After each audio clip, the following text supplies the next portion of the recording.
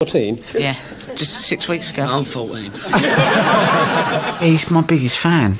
He's my biggest fan. I get embarrassed sometimes when he start talking about. Him. I'm like, oh, close my ears, like shut my eyes, like, saying, be quiet. But he's proud, you know. He's proud of me, you know, and uh, yeah, yeah. He's. But I don't like it when he praises me. I hate praise anyway. Dad, stop running away. Come here. I know you're a bit shy. Tell me, when did you realise he might be a good snooker player? When he was beating me. You're pretty useful yourself, are you? Useless. No, I was playing for a few quid, he was taking a few quid off me, though. And I turned it in there. If I was left to my own devices, I'd be on a beach in Spain, putting deck chairs up, having a coffee, reading the paper, and just plodding along in life. I'm a plodder, really. You play fairly quickly. Well, when you're playing well, you do play quicker. You think quicker, and all the ball seems easier. No nerves about being on television? As long as Dad isn't sitting in the front row, that's right. isn't? You don't like that. so Dad knows his place, and uh, Yeah. you certainly seem to know yours, Ronnie. Well done. Thanks. Yeah, so that was uh, that was my first debut on telly. It was all downhill after that. was.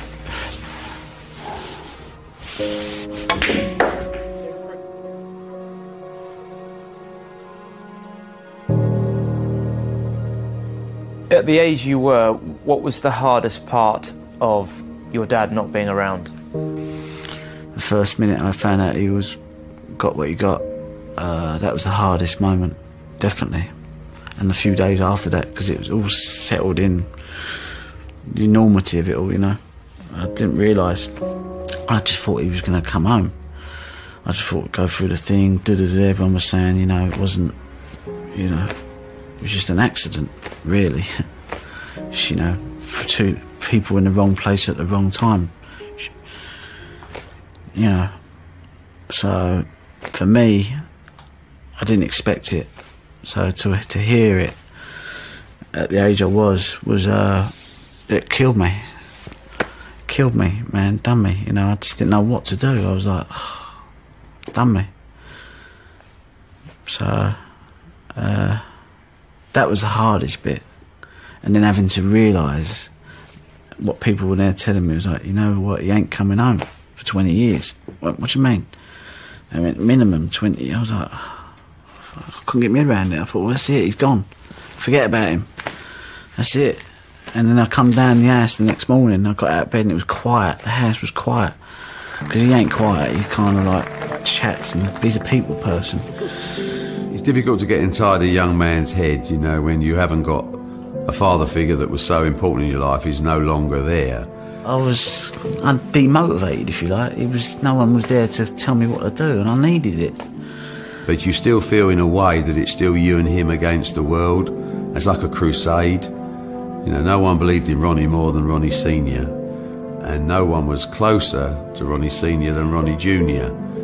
Then I become eight, 17, 18. I thought I'm a man now. I need to kind of like sort myself out, you know. So, you know, it's now become a job. It's like okay, you know, a job plus I need to fulfil my potential.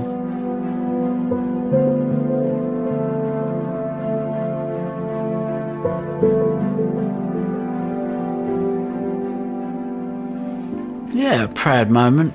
Definitely a proud moment because obviously, you know, I knew how much it meant to him. You know, 12 months before, I lost to Cliff Wilson before the television stage, and I, I remember going back to my hotel room, crying my eyes out. I smashed my cue case on the floor.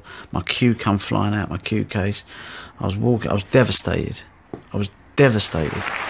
This young man is not 18 yet. And like all great players, he's finishing in style. So then, to, for 12 months later, to go and win the UK, I was like, mental. Yeah, Stephen Hendry will shake his hand. I know he admires Ronnie's play. We all do. The title of the 1993 United Kingdom champion, Ronnie O'Sullivan. UK champion, 17 years of age. Like, wow. I beat my hero, Steve Davis. I beat Stephen Andrews, my new hero. I just thought was the best thing since sliced bread. We snooker players in the inside, we knew how good you were. So, although maybe it was one year too early, he won it, it wasn't a surprise because we know how good he was. So I beat all these people in one event, and all of a sudden, overnight, I've gone from no one knowing me to all of a sudden the UK champion. And I still didn't realise the impact it had till the next day when I went out and had breakfast because I'd gone from no one ever recognising me to all of a sudden people were like, oh, and I was like, shit, people were pointing at me. He pocketed a cheque for £70,000, but I have to say, he says he'd give it all up to spend Christmas with his dad. He's with us now. Hi, Ronnie. Hi, nice to see you. First of all, many congratulations. You don't look 70, doesn't he? Look I was just saying, you look, you look 17. about 23, 24. That's what uh, living in a snooker all does Uh, for you. misspent youth. That's right. But you don't drink, do you? you I don't drink and I, and I don't smoke and I don't really uh, go out to, to clubbing it much because I've uh, dedicated much of my time to me snooker and that. 17 year old Ronnie O'Sullivan is tipped to become the world's youngest number one. If he does, he says he owes it all to his dad, who he visited today in prison. Ronnie Sr. is serving a life sentence at Gartree Prison in Leicestershire. It was a tearful reunion when Ronnie Jr. took his new trophy to the prison to show it off to his dad. And I went to see my dad and took the trophy in there, and that was like TV crew down there. I was like, what's going on here? Know, but I just wanted him to go, yeah, mate, that's for you. You know, that's for you. And uh, so he could just go, you know what? You know, that put a lot of things to rest. You know, that answered a lot of. For me, it kind of dealt with a lot. It was like you can get on with whatever you got to do now for the next 18 years, Dad. You know what I mean? You've, I've give you a bit of silverware. I've proved that you ain't to blame for my whatever. I've, you know, that's it. We can move on now. You can move on. I can move on and enjoy whatever we do. Especially with all me, my mum being there and my sister, sort of like, they were sort of like, couldn't believe it. Everyone coming up for autographs and you can see me dad sort of like, he feels at home and, and he's just sort of like really proud of me and I'm, and I'm more to the point proud of him because of his, he's made me. I haven't really made myself. I've got a lot to owe to him and, and the way I am is the way he is. He even if I won a tournament, history, he used to say. I go, what? It's history. It's over. Forget it. Move on. Next one. I'd be like, really? Okay. He's just told me it's history now, the press is nice and that. He said, but Thursday morning get back, back down to the practice and that. He says, because one victory is not enough. Your dad's probably watching this morning. Anything you want to say to him? Yeah, I just want to say what a good visit it was yesterday, and it, and it was definitely better than winning the tournament, seeing his face and reactions. And we had two and a half hours of laughing and joking, and, and at the end of it, he just patted me on the back and says, go and, go and get another trophy. I remember looking at it thinking, they look good for a 147. Amazing, absolutely amazing. I just went, I don't think I suffered with depression. I think I suffered with snooker depression. I had a five year period where I just went mental.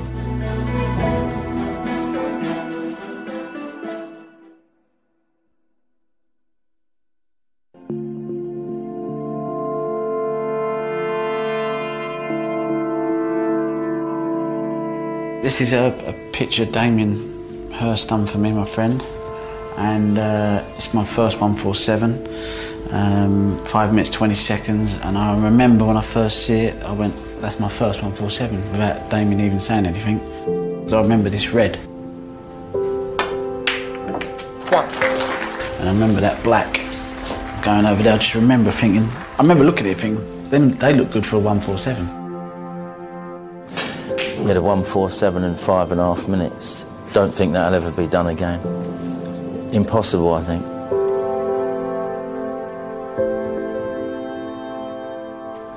One more red and the frame's safe, but Ronnie's got other things on his mind, and so has everybody in the audience.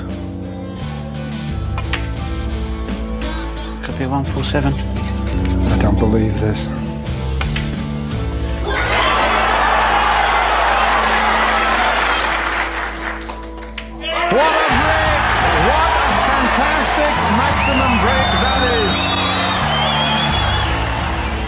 Is! That, that can never be beaten. He was absolutely playing speed-wise twice above himself. And then I spoke to Ronnie. I said, why did you do that, Ron? He said, because if I stopped and think, I would have missed. I remember watching it thinking, God, there's a lot of cue overhanging. And I just went, like that. Just a bit of magic in sport, that was. Amazing, absolutely amazing. Like two hole in ones on a trot, something like that. When he made that, he kind of uh, made his name through that, and then ever since then, people have just loved watching him, and um, you really don't know what's going through his head, so people just um, tune in to just see what he's going to do. Alex Higgins is 14, was 14 years older than me. I'm 14 years older than Ronnie O'Sullivan, and now you've got Judd Trump, who's 14 years younger than Ronnie, so maybe there's always going to be an entertaining player out there. I'd say everyone uh, sort of my age used to, who's got into snooker has probably modelled their game on him. Um, when I first started playing, I used to play really quick, um, just to play like him. Did you always play fast? Uh, yeah, I was always a quick thinker. Um, I had good technique, but I, f- I used to think quick, so I'd see the shot early. Um, so I was quite a consistent player, but I was quick, which was kind of not heard of really, because you was either methodical and slow, or you was quick but a bit flamboyant with your technique. I first met him when I was eight. Uh, my dad got me tickets to the Welsh Open, and um, Ronnie was there. So um, luckily, I got to meet him and have my photo with him and that, um, which was 15 years ago now. I've managed Ronnie O'Sullivan twice. Some of the greatest days of my life have been with Ronnie O'Sullivan. Ronnie O'Sullivan has also driven me round the bend, driven me nuts. And there are times when I could hug him, and there are times when I could kick him. I prefer the hugging. Oh, earliest memories uh, going to school, messing around, playing a bit of football, painting little toy cars, stuff like that.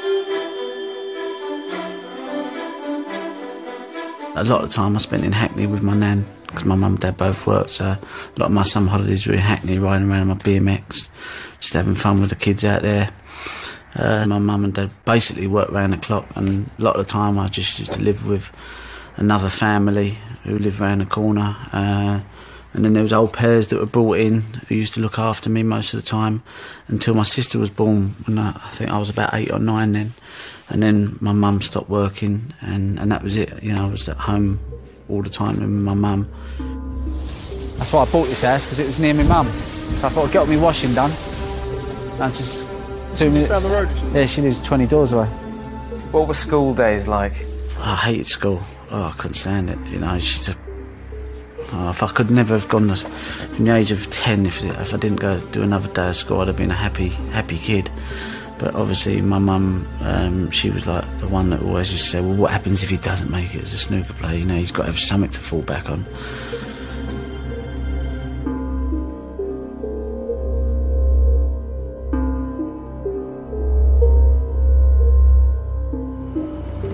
You know, I had a five year period from the age of 19 to 24 where I just went mental.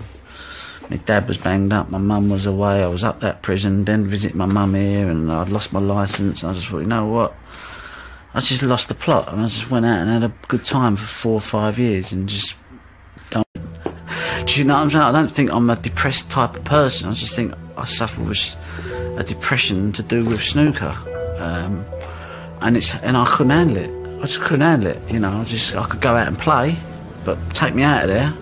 I couldn't do life. I couldn't do people. I didn't want to socialise. I had a social phobia.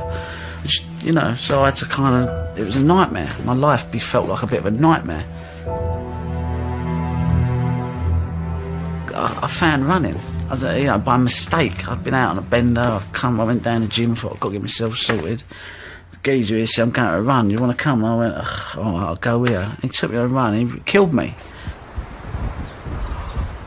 And it was outdoors, it was fresh air, it was the complete opposite, and it gave me like an endorphin rush that I'd never had before, you know. And it helped me manage my snooker better. It helped me deal with the the stress and the pressure and the frustrations that I that I found myself with the game that I loved. I kind of had this thing of like I love being outdoors. I love the fresh air. I love being over the woods in the forest, and it kind of gets me away. And I feel, you know, I want my ashes over the forest. When I'm dead, I want to be ashed up and thrown over the forest, mate, because that's where I've that's where I've battled a lot of my demons. That's where I've come up with a lot of answers. That's where I've come up with, you know, resolving things, and it's it's made things wrong right. So, you know, I owe a lot to that because it kind of got me where I am today. And uh, it's got me through my career, if you like, because that's all I've done. I've got through it. All right, I've been successful. All right, I've won tournaments. All right, I've done this. I've ticked the boxes. I've won the world titles. I've won that. I've won that. I've won it four times, four times, four times. So I've ticked the boxes. I've become not just a world champion, I've become a multiple, you know. But I could have easily jacked it in after the first one. So for me, getting outdoors and being laid back is kind of me saying, you know what, that's that's that's where I'm happiest, if you like. Here's a player that has fallen in and out of love with the game, with the authority. Sometimes he thinks he's got the world on his shoulders. And yet, he can be the nicest person that you'll ever meet. He's an enigma, and geniuses are enigmas. I just believe that the most important thing, the biggest love in my life is my snooker. I've never, never been so emotionally ingrained in something, a person, an object, anything, like I have been with snooker. They're my people. These are I play for. Just tried to do his brain in as much as I could, and I got him. I felt so brittle. I was damn me doctors, mate. I was going insane.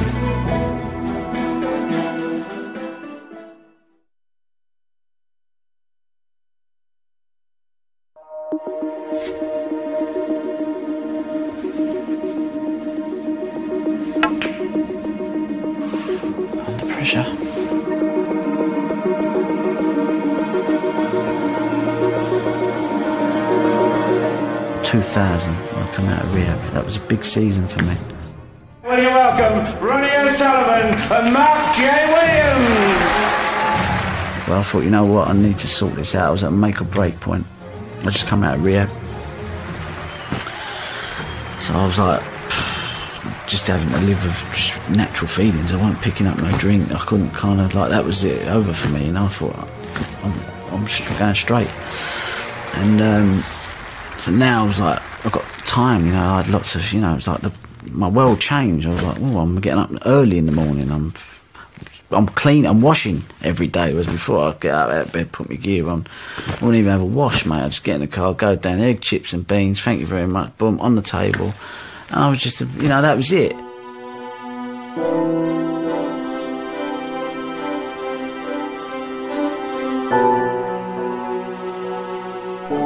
The week's major attraction, Ronnie O'Sullivan.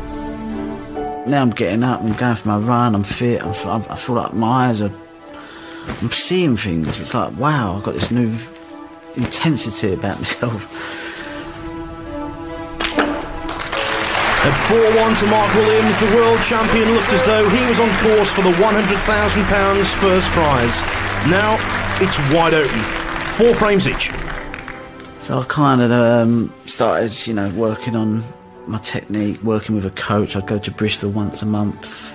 And some days I'd be up there and I'd be like, oh, I'll be so tired. Well, I've been at the table for six, seven hours just working on stuff. Ronnie O'Sullivan, 77 under the three. This fast-flowing, fluctuating final ebbs once more in favour of the fans' favourite. Ronnie O'Sullivan is 6-5 up on the verge of being the Champions Cup winner. I knew my game needed to change for me to be able to win the world title because I was too inconsistent. The bad habits that had crept in wasn't going to allow me to sustain it for 17 days. So I knew I needed to work on my consistency and know that I could get up and have a, a formula that I could take to the practice table. And if something weren't right, I could change a couple of things and I was away again. Ronnie O'Sullivan, 91. A hundred thousand pounds and the Champions Cup. Fresh outlook, new perspective, an improved person, an improved player, and no more popular winner than Rocket Ronnie O'Sullivan. There ain't much time for fun and games. There ain't much time have people putting yourself in situations where people want an autograph or they want a photograph or they, or they you know what I mean. You just have to kind of make sure that you're in a safe place sometimes where you can just recharge to go and do what you need to do because that is what it's about. How do you feel yourself, Sam? Um, I was emotional because I've, I've obviously been through a lot of stuff in the last few months and uh, I was that close to quitting the game and I've been saying it for a long time and I've just had to get my life in order and thankfully I've managed to do that and life to me is, is, is much more important than this green baize and a bit of wood because that's ruled my life for the last six, seven years because I've always wanted to give the public what I know I'm capable of and I haven't been able to do it and uh, Even though I talked about letting go of it, I couldn't walk away from it. I just couldn't do it. It wasn't in me. I hadn't achieved what I knew I should have achieved. So it was like I had to keep going. I'm just going to enjoy my life and, and I'm going to be playing snooker for a long, long time. And I am really appreciate all these people here because they're, they're my people. This is what I play for.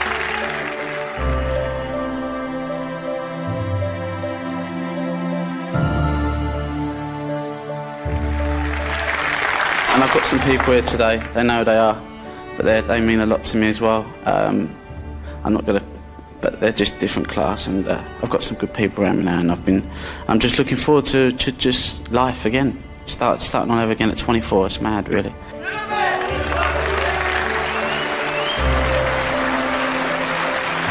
great champion, Ronnie O'Sullivan, ladies and gentlemen. Even during those big victories, how much were you battling with it? Yeah, I mean, I remember doing a radio interview in 2001. I mean, I was going into that World Championships as clear favourite. Out of 12 events, I'd won six. Everyone around was saying, well, he's guaranteed he's going to win it. Um, but I was suffering. No one knew that a week before that World Championship, I was down with doctors, mate. Couldn't even, social phobia, I couldn't be around people. And the girl I was with at the time, she was really concerned, you know, she was like, wow, this is not, you know, you really ain't well. And I went to Sheffield and I was in my room and they said, can you do a radio interview? And I felt so brittle. I couldn't, I, I, went, I said yes. But I thought, how am I going to get through this and not let them know that I'm suffering? We'll just, we'll, we'll, we'll go with it. And so I was blabbering on, blabbering on. I was like spurting these words out. I was like, ugh, ugh. I thought, what am I saying? And I just went to her. I said, you know what? And it was live. I said, you know what? I said, I really ain't feeling too good.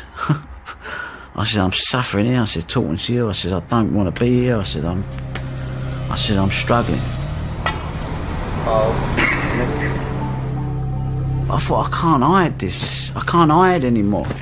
The more I tried to hide, the more I tried to not let people know I was feeling, the more I was feeling like, I, oh, I felt like I was just, I was going insane. And they went, oh, we just hope you get better. We'll call, the, we'll call the interview off. Just, we wish you the best of luck, whatever you do. do, do, do, do, do. You know what I mean? I was like, okay. Put the phone down. And I phoned the Samaritans up. Someone said, phone the Samaritans up. So I was like, mate, uh, I was chatting to this woman. She, you ain't to kill yourself. I went, well, f- I don't feel too good. I said, but I don't think I'm going to kill me. I said, I, you know, I said, because I knew that if I'd stopped the snooker, a lot of my demons would have gone. But like I said to you before, I couldn't walk away because I still had to do what I had my dad in there. And every time he said, I see you on the telly, he said, it's like a visit for me. And I was like, oh, I've got to play. Because that is, that's all he looked for. He said, the only things I look forward to are visits with you. Should you come and see me once a month? And I'd be like, okay. So that was a kind of pressure in itself. But I loved seeing him. And I wanted to see him. And then when he said to me about watching me on the telly, he said, I love it, you know, put the kettle on, see you. He said, like a visit. He said, I sit there, no one comes in. He said, because I don't like anyone rooting for the other player. he said, so, I I heard this and I was like, he's got another 10 years to go, so I've got to at least play for another 10 years. But I didn't feel like it.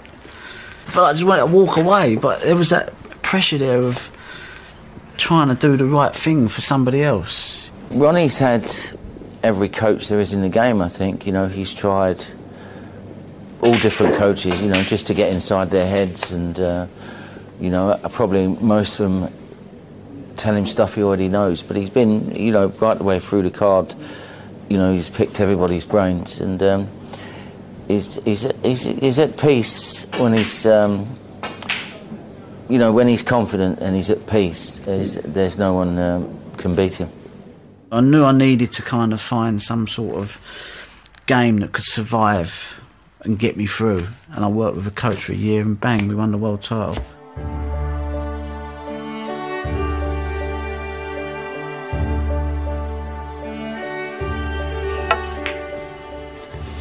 Goes the black. He's an eight. The balls are perfectly placed. This be his first world title?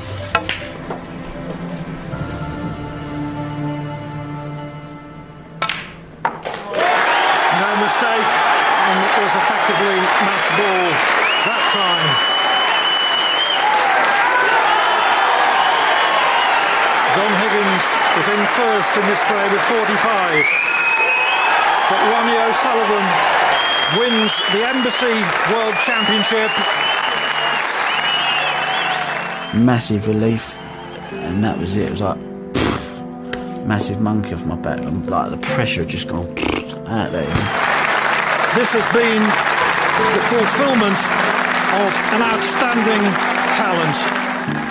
It's a fantastic feeling for me. Obviously, winning uh, um, the Embassy World Championships was, was a great great feeling for me and everyone around me. You know, we've worked so hard for that, but obviously, I want to put that to the back of my mind now. I started to win a few tournaments. I started to pick a few trophies up. I started to feel good about it, and I was like, God, why didn't I do this from day one?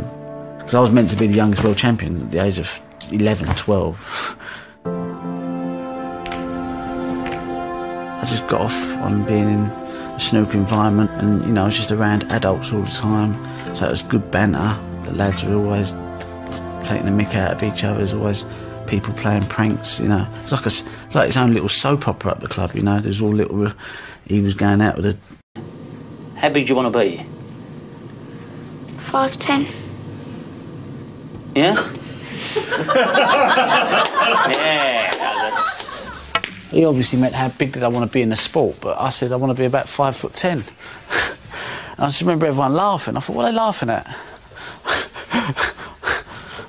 but then, like, obviously, when I watched it back, I was like, oh, okay. I know why they're laughing now. But that's all I wanted to be was five foot ten. I thought that was the perfect height for a snooker player. No good being four foot nine. I never made it.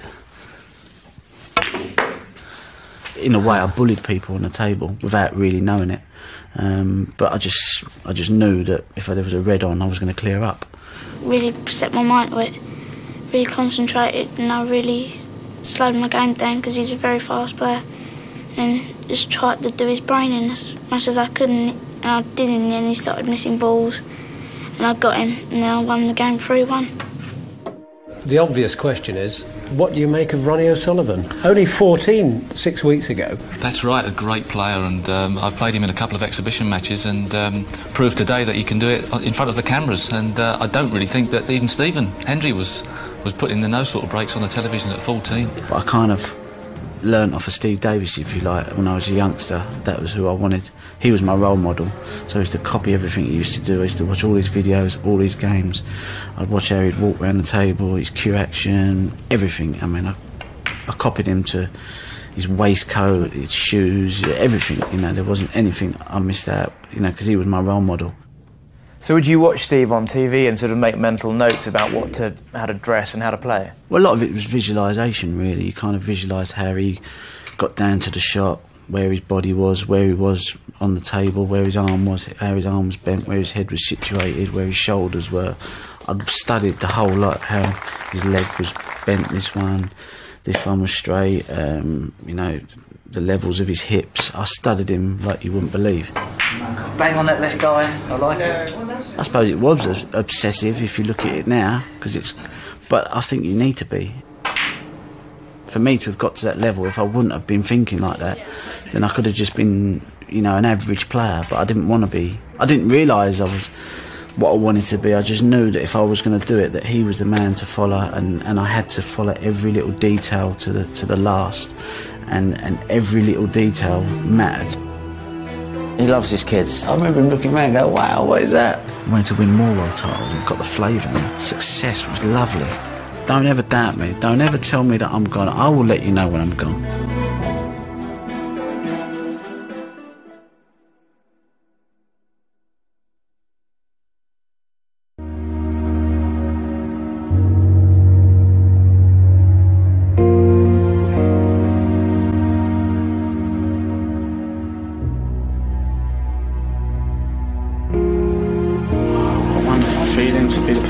Champion. I'm really made up and privileged to be the first player. Ronnie's just a genius, really. Easily the best player that's ever played. Um, he sort of plays like, sort of like he don't want to be there, but you know that he's trying his life out out there. Power play. he gives off this aura when you play him. Um, he puts you under more pressure than anyone else, so it was always tough playing him. I'm a good friend of his. He's a smashing kid. Um, well, he's a man now, but uh, he's always been a smashing kid and got a heart of gold. And uh, I just hope he, he can get up when he plays snooker and enjoy it because everybody enjoys watching him.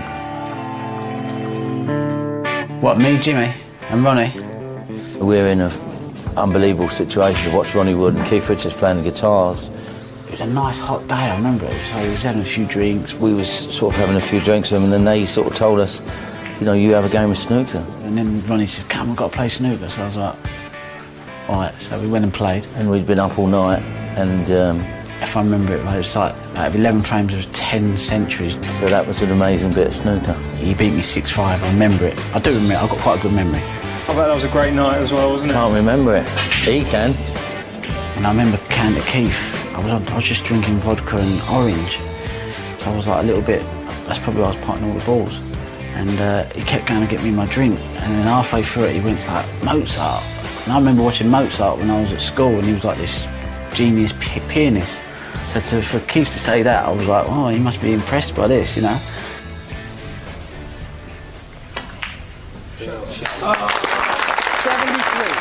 Certainly thrilling this crowd is Ronnie O'Sullivan. Obviously a name for the future. And I'm sure you're very excited at home as well as we are here.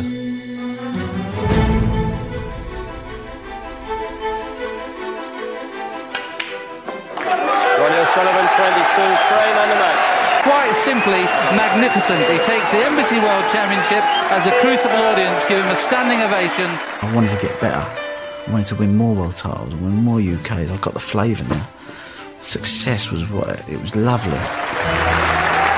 Ronnie O'Sullivan becomes the 2008 world champion. I felt good. I felt happy, you know, and I was like, okay. So I just kept going and kept going and kept going. And then I had spells when my game would fall off. But, you know, I had something, I had someone to work with and things in place to make me, help me keep on track.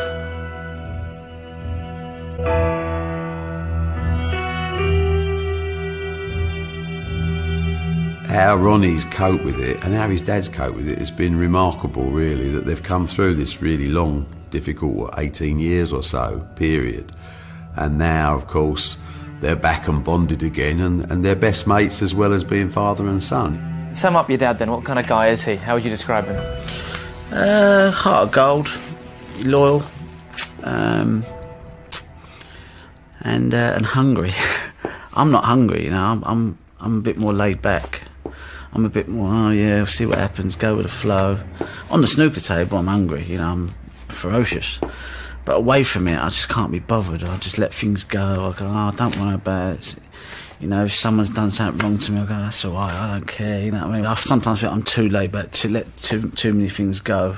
And, and really, I should have a bit more of a, you know, go get type of attitude, you know because I admire that in people. All my friends have got that. They get up and go and they do, do, do, do, like, and I just feel I just buzz off of them.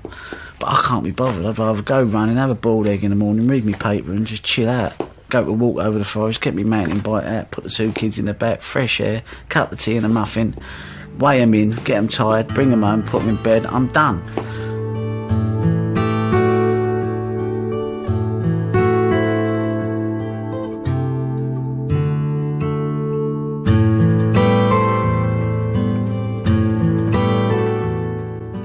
Realise until the first one comes, like changes your whole.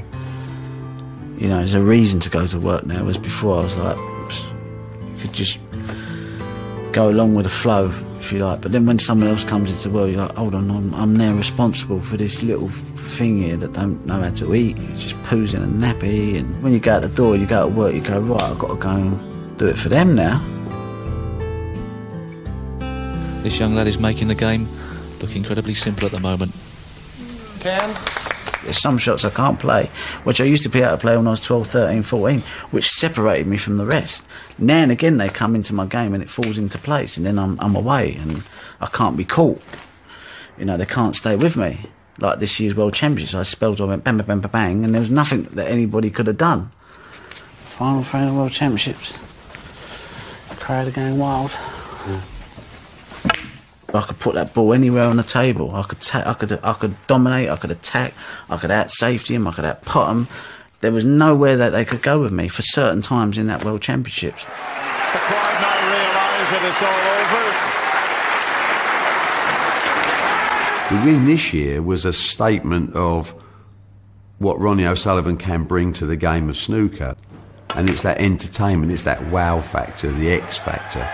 It's going to be emotional here in the Crucible Theatre. What a performance from Ronnie O'Sullivan. Three times a world champion. It's now four. Your champion, Ronnie O'Sullivan. For little Ronnie to come to the World Championships, that was the best buzz. And to have him there for the final day, for me, was just like the best thing, you know, great feeling. And I never get emotional. I always hold back my emotions. I never break down. I try not to anyway. My dad said to me, don't ever cry. If you win, I was like, all right. It's little Ronnie, yeah. That's even better, that, because look, he's buzzing with the, uh, look, he's looking at all the little things that come up on the, you know, when they go bang and all them little things. I didn't realise, because obviously, but he was more buzzing with all that. I remember him looking around and go, wow, what is that? That there, he's just, he's just posing, isn't he? Best moment ever for me, that. Just felt like me and him were in that venue at that time. There was a thousand people in there, because it's only a small venue. But just, it just felt like it was just me and him there. I was going through putting him last balls, and I just was like, "Come on, hold it down, like, hold it down." But it was just like a mental feeling, mental feeling, because you know I've been through a lot last few years, and my bond with him is so strong in a way that it kind of like it really. It was only me and him now.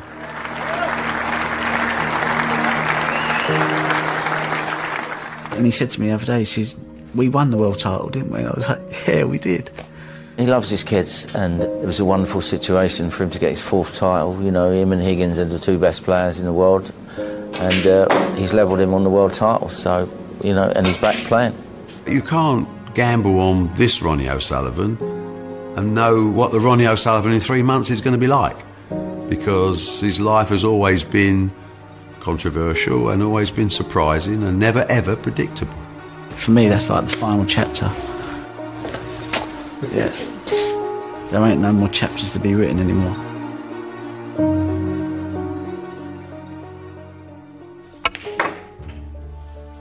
Done it all. I've seen it through. Done what I've had to do. I've made my kids proud. I've done whatever I've had to do, and I will continue to do that as a father. But as far as me having to prove myself on the table, as far as me having to win another tournament, it doesn't matter anymore. Because you hear people talk and they say this and they say that. And I had to listen to it and I thought, you know what, I'll wipe the floor with you. But you're out there doubting me and you're out there thinking you could beat me. So I had to just do that and go, yeah, that's what I've, you know, done. You know, I'm still the, the, the best player in the world. And that's what I said to him afterwards. I said, don't ever doubt me. Don't ever tell me that I'm gone. I will let you know when I'm gone. And now ain't the time. And it ain't for the next three or four years if I wanted it. But maybe I'm going to choose not to. Who knows? But I don't have to prove myself anymore. That was a good one. I will say when it's over is when it's over. But don't, they don't have to doubt me. Because the more they doubt me, the more it just make me want to come back and prove them wrong again. And I don't want to have to go through it again. I've done it. Chapter's over.